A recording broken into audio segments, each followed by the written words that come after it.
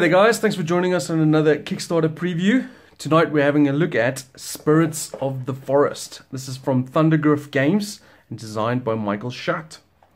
Alright, so um, obviously we're going to be using prototype components and I'm going to run through an overview with you so you can have a look at what the gameplay is like and what the rules are like and uh, we'll show you some uh, a couple of turns of us playing through the rounds and then if you like it you can follow the link which is in the description below and uh, it'll take you to the Kickstarter where you can get out some more information. And uh, if you like it, you can back it. I'm sure they would much appreciate your support. So tonight with me, who's going to be showing you the game is Gary. Hey Gary, and Dave, and Santa. Oh no, actually, sorry, it's Kelty. Hey. All right, and myself, Jason. All right, so to begin with, you have four rows of 12 spirit tiles on the board, as you can see in front of you. Um, they all have different symbols on. There are nine different types of spirits. So, like this is one over here. They all have a special name, and I'll show you the name in the book. And this is the last time I'll mention their names, as I'll never remember them all. So there you go. You can have a look. So you've got branches, moss, deer drops, mushrooms, flowers, web spiders, fruits, vines, and leaves. Those are the nine spirits in this particular forest. There are also three power sources, which are sun, moon, and fire. Now, these are basically a set collection game. What we're trying to do is collect sets of those particular spirits and power sources. And the way we do that is, imagine this being the dense forest, and on the ends right down here and down that side over there is where we collect the spirits from. So, for example, the first player only gets to pick one tile, but if I was, say, not the first player and I wanted to pick a tile on my on my turn, I could either pick one tile with two spirits on, or I can pick up to two tiles with one spirit each that match. So for example, you got this spirit over here, the leaves I think it's called. It's got one leaf on and a moon. And on the other end of the forest, there just happens to be another one. So I could take both of those, or if there wasn't a match, I could just take the one. Because you're trying to collect sets. The person with the most sets at the end of the game, so for example, if I have the most leaves, I will score equal to the amount of leaves I have. And everyone else will score zero unless they don't have any leaves at all, which means they score minus three. And we'll do that for every single set, including the moon, the fire, and the sun. It's as simple as that. A couple of the token, these spirits will have some favor tokens on. These favor tokens are generally the same thing, so you'll either find spirits or power sources. And there's one other token which we might have. There's extra six tokens, so we don't know what tokens are in the board in the game. We also have these three gem tokens. These three gem tokens allow us to basically effectively bookmark a, a section. So for example, back to my example, let's say I take this orange here. So I take these two oranges and then I go, you know what? I don't want anyone else to take this card. So I put that there. I'll bookmark it for myself.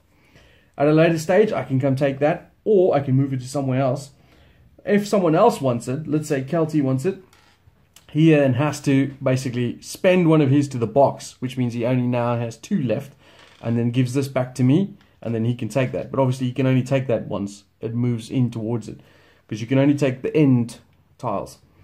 Uh, we keep going like this until all the tiles are taken, and then we score up the points. Person with the most points is the winner. It is literally a quick, simple 20 25 minute game. Uh, in a four player game, there's quite a lot of decisions because these gems can lock out quite a lot of people. And uh, obviously, you're trying to collect as many of the sets as you can because minus three points is pretty bad.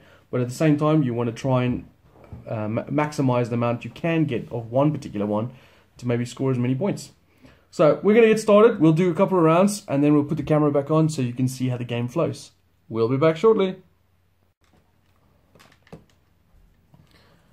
All right, so welcome back. Um, we've had a couple of rounds. Uh, Dave is the first player, and he's about to start in a minute.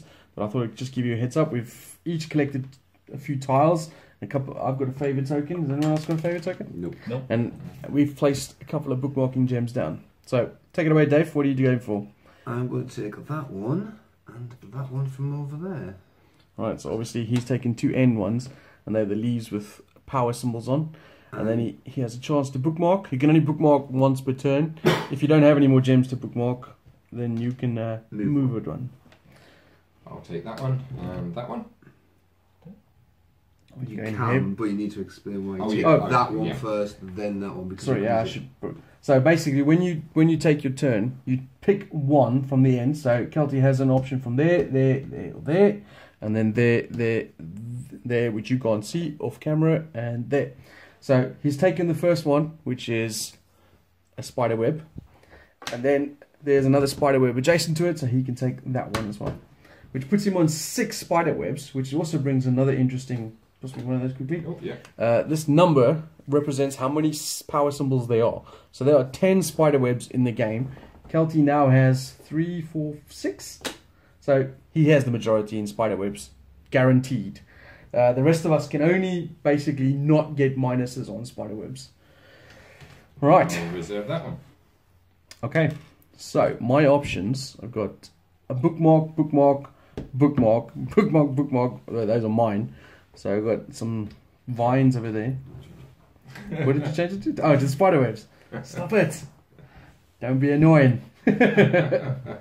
um, you know what? I'm going to take these leaves. So I've got two leaves there. And I will. I feel like I'm, I should bookmark a spider web just so I don't run run out. There's one there and one there. But this one's better because it's got the fire on. So you know what? I'll do that. All right, Gary.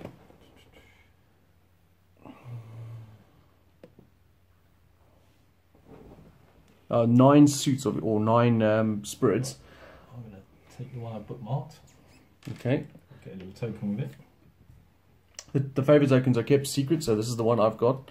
Um, and you reveal them at the end of the game. So they, they're the random element, if you like. Right, Dave. So at the moment, you can see what Dave's got. He's got two green ones and two purpley ones. And he's going for a red. So he's only taken a single spirit. You could, you don't have to take the pair. The only other pair was there and there, which he would have to sacrifice gems for. And didn't have any. I'll take this one. And I'll bookmark that one. All right. I. Hmm, interesting. I'm gonna. Oh. Uh, you know what? That's also a double. Oh, that sucked. You know, what? I'm just gonna take these double red, which is bookmarked by me, and that'll end my turn. Okay, I'm going to have that one and then that one. And bookmark. Oh, you bitch. Get out my house. um,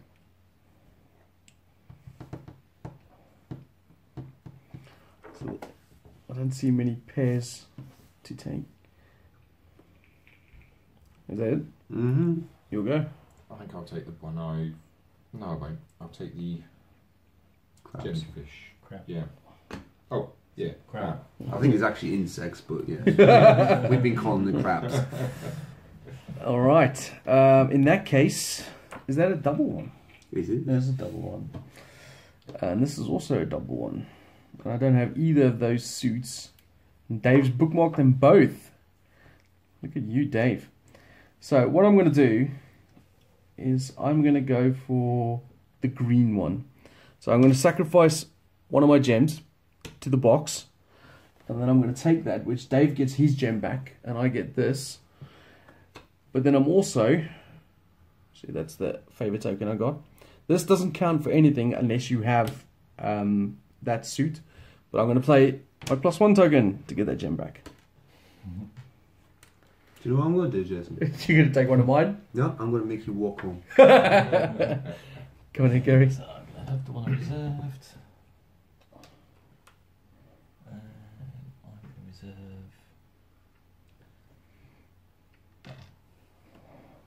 For such a small, simple game, it can be quite cutthroat. Obviously, the, the problem with uh, sacrificing your gems too early is that you might run into a situation where everything is bookmarked, and if you don't have any gems left, you can't take any. And you just skip your turn, basically.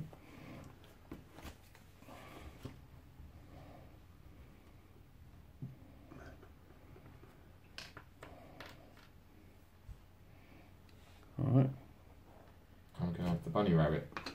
alright. Back to me. Right, I'm going to sacrifice this gem again. Back to the box, and I'm taking this one. Oh. you can have your gem back. And this is what I got. So what I'm going to do is I'm going to play my plus one. He's definitely walking.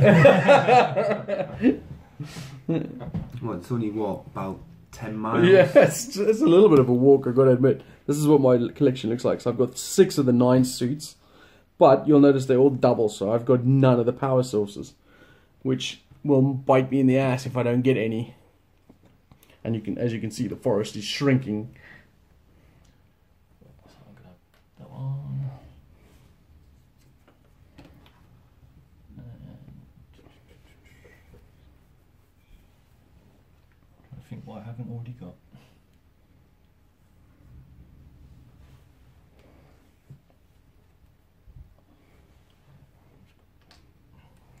All right, I'm going to take a crab. Do one more round so you guys can see how it goes. I'm gonna sacrifice my coin. I'm gonna take that one.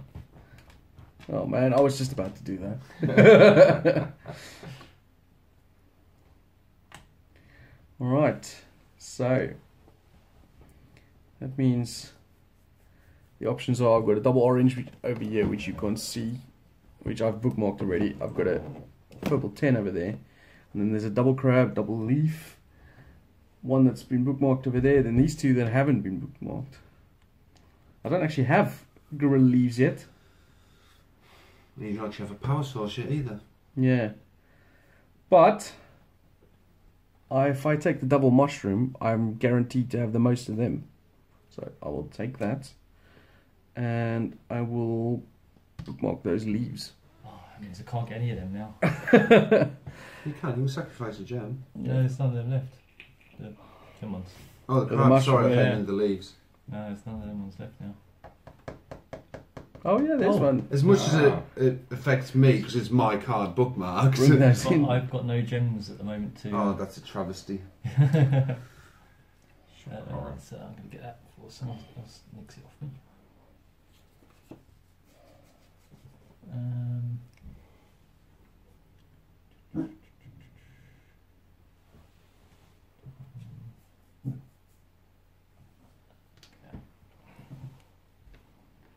All right. So you've had you've seen about four or five rounds now, so you can see how the game flows. It's pretty simple. On your turn, you're just collecting. Um, once we've finished and all these tiles are done, we'll then do scoring, kind of similar to this. This was the round we just played before that, so you can see what the scores are kind of like. And uh, we'll get back to you when we're done, and we'll tell you who won. See you in a second. Alrighty, so we've tallied up the points. Um, and uh, in a shocking turn of events, it's not really that shocking, in last place, I came last with two points. Check Yes, it out. I had, I had at one point, I had seven, what is it, seven plus five is 12, 14 points, and then minus 12 because I missed four of the suits, including the sun and the fire, which got me down to two points. As you can see, in my last game, I only got eight, so I clearly suck at this game. Uh, and Yeah, then you just suck. yeah. Uh, Gary, you got 10 points, and Kelty got 9, so they were second and third, respectively. And then Dave with the second win of the night, 12 points again, consistent. Look at that scores. I thought first six scores we did, you got 0, 0, 0, 0. I was thinking, ooh, this is not looking good. And then you got a 2, couple more zeros, and then a couple of fives at the end, put him into 12th place. And you see, he came, he won the last game as well with 12 points. So he's obviously Mr. Consistent. Well done, Dave. You're welcome. Uh, obviously, New Year, so there's something going on different here. Yeah, I never win. All right, so there you can see a game of Spirit Forest. If you're interested and you like the way it played, uh, nice, simple, quick game. Well, we've played two games in a row now, and we did that in probably less than an hour. Yeah. Um, so, and it also has, just for interest sake, a solo play mode. Um, this thing helps with that, so you can play this game solo. Uh, they also have a deluxe version on the Kickstarter, which you can check out, um, which has upgraded components and stuff. This, what we were playing with, believe it or not, is a prototype. So, if you like it, go check the follow the link below, and that'll take you to the Kickstarter and back it. I'm sure the guys from Thundergryph would love your support. And thanks for watching, and check us out on the next video. Cheers.